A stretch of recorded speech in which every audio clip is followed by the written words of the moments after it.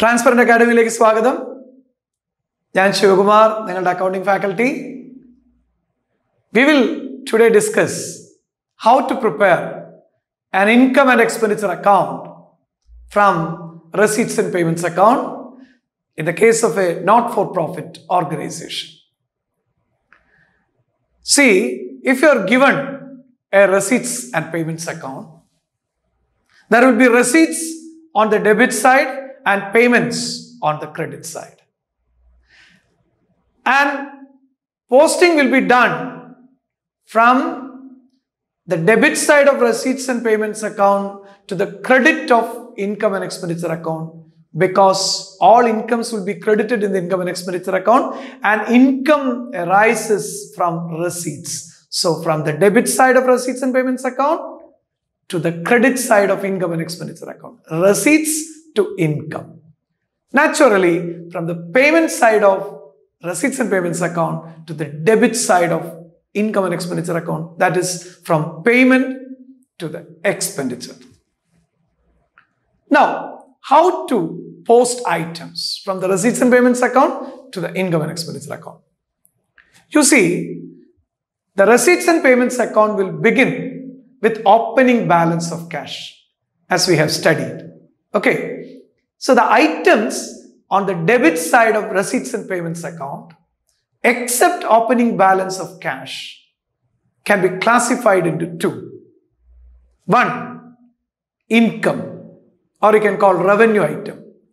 Two, liability, you can call capital item. Only revenue items will be credited to income and expenditure account. What is a revenue item? How can you recognize a revenue item? Or how can you recognize an income from the receipt side? An item to be an income must satisfy two conditions. Number one, it must be of recurring nature. Number two, it must not be meant for a particular purpose. ഒരു item income ആകണമെങ്കിൽ രണ്ട് condition satisfy ചെയ്യണം ഒന്ന് അത് ആവർത്തിച്ച് വരാൻ പാടില്ല എല്ലാ വർഷവും ആണോ അല്ല ആവർത്തിച്ച് വരണം രണ്ട് അതൊരു പർട്ടിക്കുലർ പർപ്പസിന് വേണ്ടി നീക്കി വെച്ചതായിരിക്കാൻ പാടില്ല. അപ്പോൾ അത് റിക്കറിങ് നേച്ചർ ആയിരിക്കണം ആവർത്തിച്ച് ആവർത്തിച്ച് എല്ലാ വർഷവും വരുന്നതായിരിക്കണം. രണ്ട് ഒരു പർട്ടിക്കുലർ പർപ്പസിന് വേണ്ടി നീക്കി വെച്ചതായിരിക്കാൻ പാടില്ല.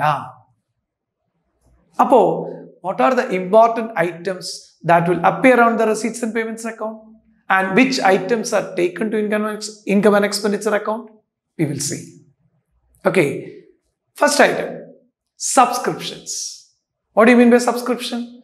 It is an important item on the debit side of receipts and payments account of a not-for-profit organization. Subscription means membership fees. So it is of recurring nature.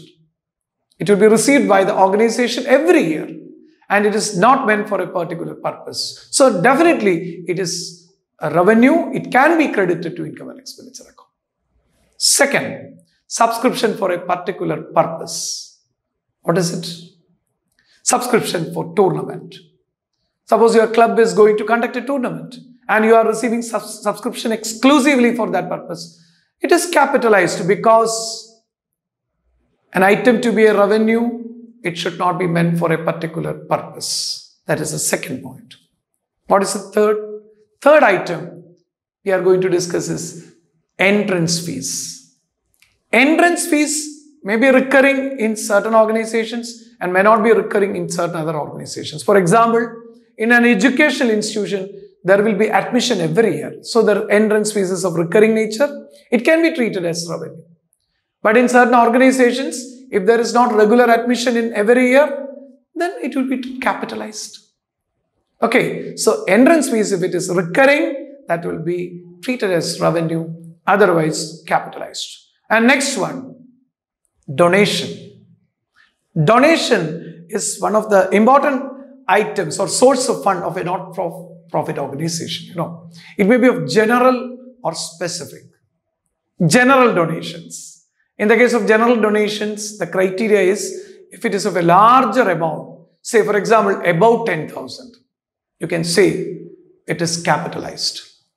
If it is a smaller amount, you can treat it as revenue and credit it to income and expenditure account. Next one is donation for a particular purpose, specific donation.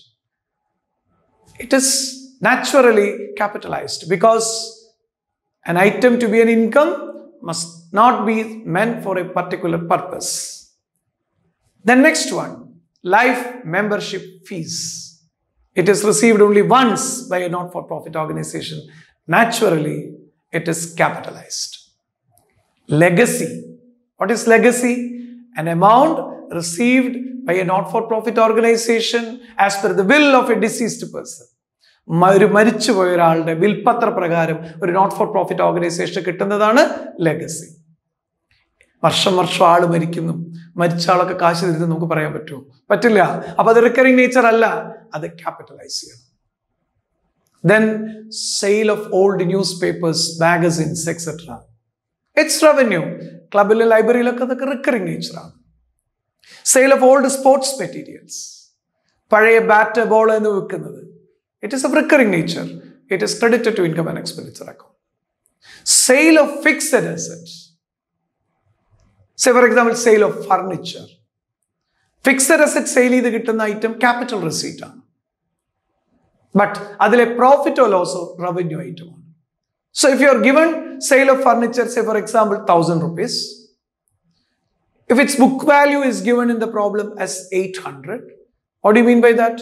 800 worth of furniture is sold for rupees 1000. So there is a profit of 200. That profit will be credited to income and expenditure account. If it is a loss, that will be debited to income and expenditure account. So in the case of sale of fixed asset, the profit or loss will be taken to income and expenditure account. The next item interest receipt entertainment proceeds. They are revenue items. Interest, ബാങ്കിൽ deposit ചെയ്താൽ recurring nature ആണ്. സ്ഥിരമായി interest കിട്ടും. അത് income ആണ്. Entertainment proceeds കലാപരിപാടികൾ നടത്തി കിട്ടുന്ന പൈസ income then funds next item funds tournament fund match fund prize fund all these items are liability capitalized because they are for specific purposes. Okay, these are the important items that appear on the debit side of receipts and payments account and their treatment. You know, next is on the payment side. The items on the payment side of receipts and payments account may be classified into two expense or revenue, asset or capital. Only expense will be debited to income and expenditure account. These are the items which are you are very much familiar with. An item to be an expense, it must be of recurring nature. Say, for example, salaries. Naturally, it is an expense that is debited to income and expenditure account. Rent, debited to income and expenditure account. Printing and stationery, debited to income and expenditure account. Advertising, debited to income and expenditure account. But furniture is given. If you purchase furniture by payment of cash, naturally, it is a capital item going to the asset side. If you are given sports equipment, it is a capital item. If there are library books, capital item, asset. That's all. And when you balance the income and expenditure account, if you get the balance on the debit side, it will become a surplus, excess of income over expenditure. If you get the balance on the credit side, it is a deficit, excess of expenditure over income that will be transferred to capital fund. This is how you prepare a- an income and expenditure account from the receipts and payments account. In the next video, we will discuss how to prepare the balance sheet of a not-for-profit organization. Okay? Thank you. Thank you very much. See you in the next class. Bye.